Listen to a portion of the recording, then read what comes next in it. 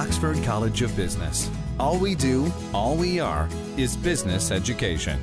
අටවෙනි පාර්ලිමේන්තුවේ ගරු මන්ත්‍රීවරුන් සඳහා වාහන සැපයීම. අර පර්මිට් එකකට දෙන වාහනේද? නෑ. ඒ බලපත්‍රයට අමතරව තව වාහනයක් දෙන්න යෝජනා කරනවා. ඒ සම්බන්ධයෙන් ගරු ඇමතිවරයා අමාත්‍ය මණ්ඩලයේ අවසර ඉල්ලන කරුණු 6කට. එක කාරණාවක් තියෙනවා. වාහන ලබා දිය යුතු මන්ත්‍රීවරුන්ගේ නම් ලයිස්තුව අදාළ පක්ෂ නායකින්ගෙන් ලබා ගැනීමට. මෙන්න නියම අල්ලසක් පිළිබඳව ඔත්තුවක් ඔබට දෙන්න. පක්ෂ නායකයා නම් කරන්නේ වාහනේ දෙන්න ඕන කාටද කියලා. වාර්ෂික පූර්ණ රක්ෂණාවරණ හා ආදායම් බලපත්‍ර සඳහා වන මුදල් මුදල් අමාත්‍යංශයෙන් ගෙවීමටත් මේක අනුමත කරන කැබිනට් එක. එම මන්ත්‍රීවරුන්ගේ දූරකාලය අවසන් වීමෙන් පසු මහා භාණ්ඩාගාරය විසින් නියම කරනු ලබන වාහනේ ෂය වටිනාකම රජයට අය කරගෙන අදාළ මන්ත්‍රීවරුන් වෙත එම වාහන පවරා දීමටත් මේක තමයි අනුමැතිය ලැබෙන්නේ. මන්ත්‍රීවරුන් බිලිබා ගැනීම සඳහා මේ ආණ්ඩුව ගෙනියනු ලබන පියවර රාශියක එක පියවරක්. නීති විරෝධී හෝ ව්‍යවස්ථා විරෝධී හෝ කටයුතු වලට අවශ්‍ය අත උස්ස ගන්න ගහන කීලිකරුවක් විදිහට තමයි. මේක අපි තේරුම් ගන්නේ මේ රජය පත් වුණාට පස්සේ අපේ පාර්ලිමේන්තුවේ පනතක් සම්මත කෙරුවා. ඖෂධ දා ඖෂධ පනත ඉදිරිපත් කරමින් කතා කරුවේ මේ පනත නිසා ඖෂධ මිල බහිනවා, ඖෂධ මිල පාලනය වෙනවා,